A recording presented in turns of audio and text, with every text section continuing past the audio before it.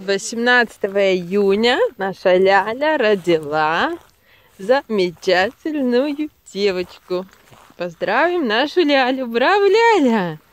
Браво, Ляля! Сегодня второй день. Второй день. Запомним, мы, мы решили назвать твою дочку Мила. Мила Людмила. Мила. Милочка. Мила. Вот она сразу услышала. Мила. Ты Мила? По-моему, Ляля довольна, то, что она стала мамой. И мы тоже очень довольны. Единственное, не в моих правилах оставлять лошадь, родившую привязанной. Вот. Но придется делать исключение. Для только такие исключения приходится делать. Ну, будем надеяться на лучшее. Также тут она практически круглые сутки под присмотром.